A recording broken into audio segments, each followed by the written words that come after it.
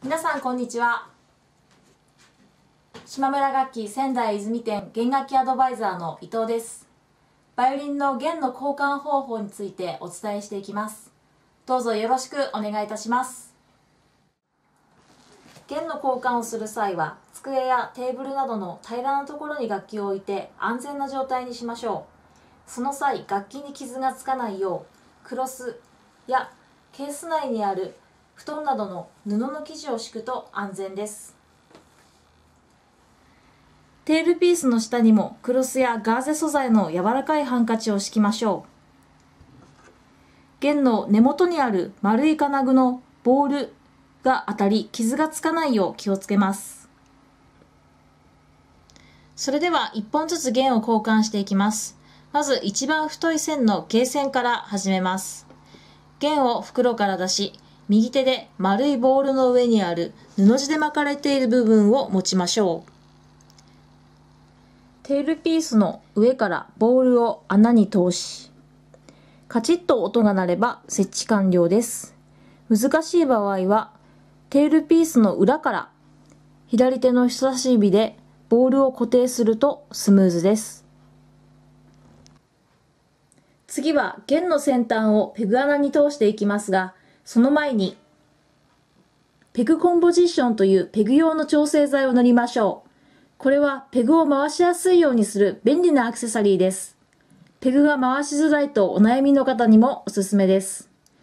塗り方はちょうどペグボックスに当たる部分、こちらの2箇所にたっぷり塗ってください。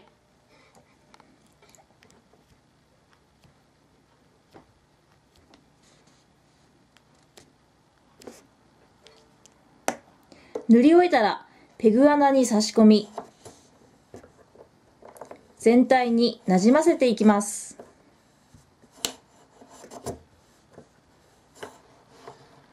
では早速ペグ穴に弦を通しましょう。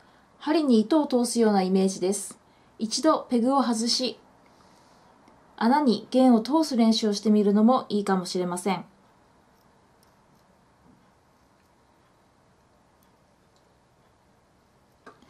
ゲーセンを交換する前に泥線を少し緩め作業場所を作ります。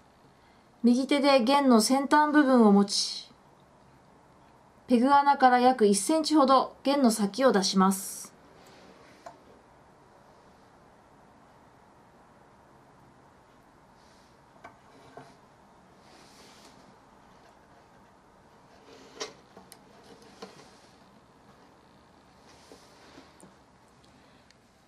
経線泥線はペグが左側についていますので、右手で弦を引っ張りながら、ペグを奥に回し、右側の壁に向かってペグを押していきます。私の場合は弦が外れにくいよう、まずペグ穴の右側に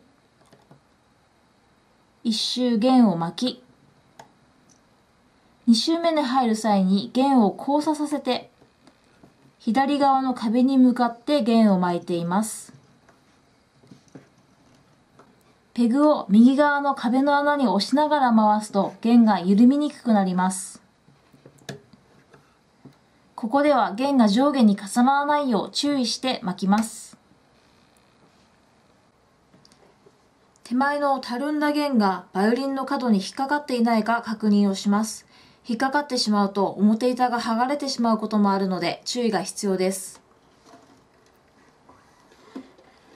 ある程度弦が腫れたら先ほどテールピースの穴に通したボールがしっかりはまっているか、駒が倒れていないか、擦れていないかなど確認します。また、ナットと呼ばれる溝部分と、駒の溝に弦がはまっているか確認します。左側の壁に弦が当たるとペグが回しにくくなるので注意します。次は泥線も同じように交換していきます。泥線の次は R 線、最後は A 線です。R 線と A 線はペグが右側についていますので、左手で弦を引っ張りながらペグを奥に回し、左側の壁に向かってペグを押していきます。私の場合は弦が外れにくいよう、まずペグ穴の左側に弦を1周巻き、2周目に入る際に弦を交差させて、右側の壁に向かって弦を巻いています。ペグを左側の壁の穴に押しながら回すと弦が緩みにくくなります。ここでも弦が上下に重ならないよう注意して巻きます。右側の壁に弦が当たるとペグが回しにくいので注意します。A 線は根元がボールタイプのものとボールの金具がついていないループタイプのものがあります。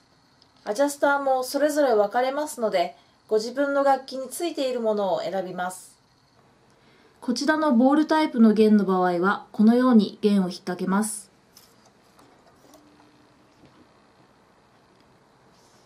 根元付近にプラスチック製またはビニール、革製などの筒のようなものがついているかと思います。駒の A 線部分に駒側が貼ってある場合は、これを取ります。駒側が貼っていない場合は、これを駒の上に乗せて駒を貼っていきます。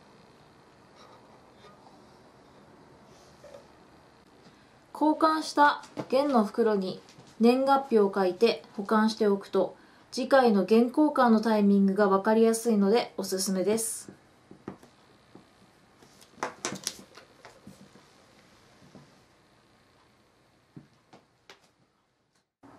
いかがでしたか？ご不明な点などございましたら仙台泉店弦楽器アドバイザー伊藤までお問い合わせください。ご視聴いただきありがとうございました。